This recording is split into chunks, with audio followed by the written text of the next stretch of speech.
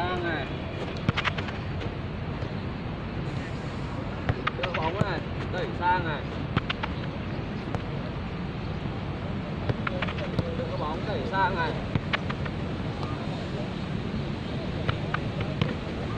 Lùi lại một nữa rồi đẩy sang này đỡ bóng này đẩy sang này đẩy ngang này nhá đẩy sang này. Đừng đẩy chéo.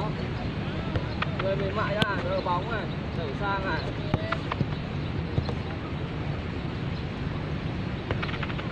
Đỡ bóng này, đẩy sang này. Đẩy ngắn đẩy dài là tùy, nhưng mà làm sao cũng sút được, đúng rồi. Đỡ bóng, đẩy sang này.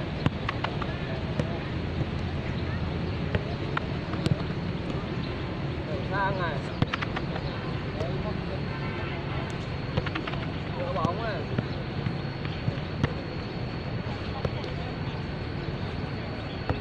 Đổ chân dẻo ra này đẩy sang này Đấy, đúng rồi đỡ bóng này đẩy sang này.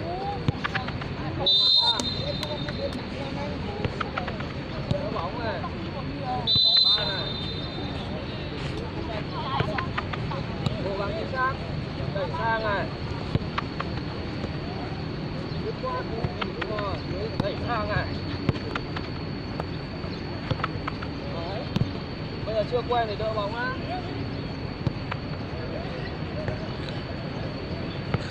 à chính xác vào thì nó mới mới về từ mới thẳng đó duỗi chân ra điều điều hướng đúng rồi đỡ bóng này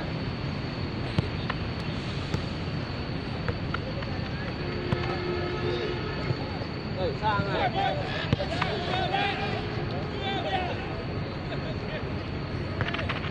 đưa bóng này sang này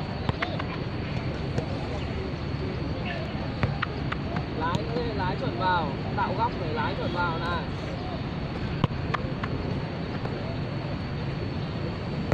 Tốt.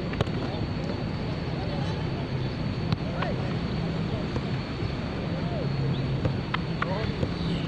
lái sang này Đúng rồi. lái sang này đỡ bóng này lái sang này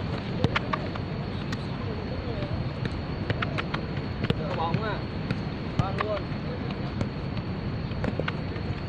đỡ bóng này ban luôn này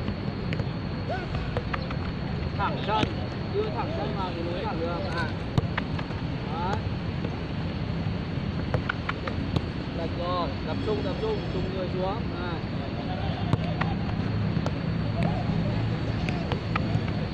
Nó đẩy là hạn chế đá của đấy nhá. Bao giờ để nó trên xuống. Này. Rồi làm lại động tác kia đi, đẩy sang này.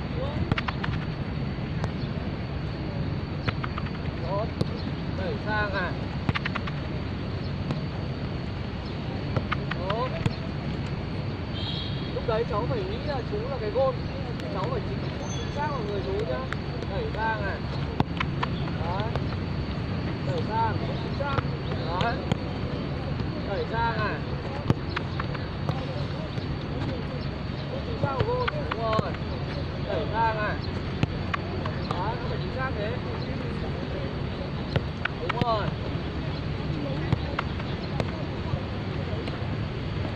đấy đẩy sang này có chính xác này tốt đẩy sang à. Mềm mại ra đúng rồi đẩy sang à.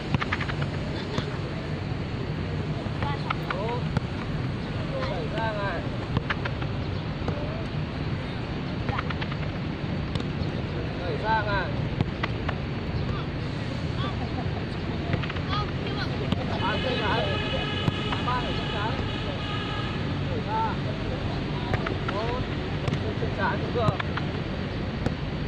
chưa quay đâu phải đi không phải đi ra đúng không phải ra này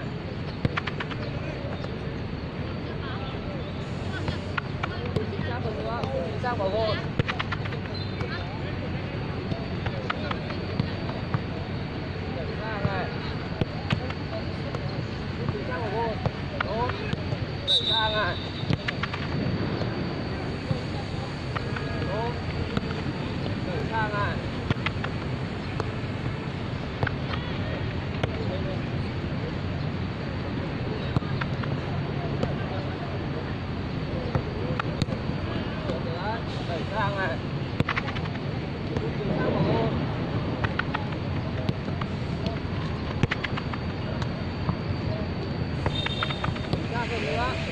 Hãy subscribe cho kênh Ghiền Mì Gõ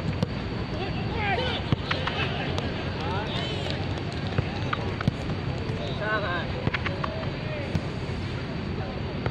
bỏ lỡ những video hấp dẫn À, đẩy sang này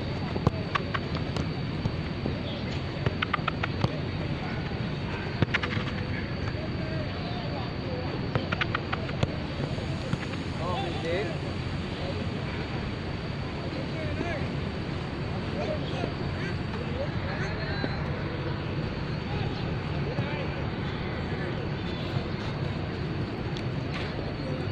Vâng, ờ, tôi và bạn ờ, anh vừa thực hiện xong cái bài tập ờ, ban bóng bằng mu bàn chân. Tôi đang cố gắng hướng dẫn cho bạn kỹ thuật sút làm sao cho nó dứt khoát, mềm mại này, vẫn vẫn chính xác này. Để bạn quen với những cái động tác đấy đi. Và bây giờ bạn ấy chưa quen lắm. Và còn nhiều động tác cần phải sửa và tôi hy vọng là sau độ khoảng à, 2-3 tháng tập luyện, Thầy trò chúng tôi sẽ à, có những cái à, đột phá Và cậu ấy sẽ tiến bộ hơn. Đây là những cái bài tập rất đơn giản đấy nhá. Tôi thì thường quay những cái động bài tập rất đơn giản và rất cơ bản trước, Chứ không không có những cái bài tập phức tạp như ở trên YouTube. Đấy là những câu lạc bộ chuyên nghiệp rồi. Còn đây là mình học cơ bản, là mình phải học từ những cái rất nhỏ nhất, từ những cái động tác rất nhỏ nhất, có hàng trăm, hàng nghìn những cái chi tiết nhỏ mà chúng ta phải tập. Và chúng ta dần dần chúng ta ghép nối nó lại và sẽ thành những cái xử lý hoàn hảo ở trên sân.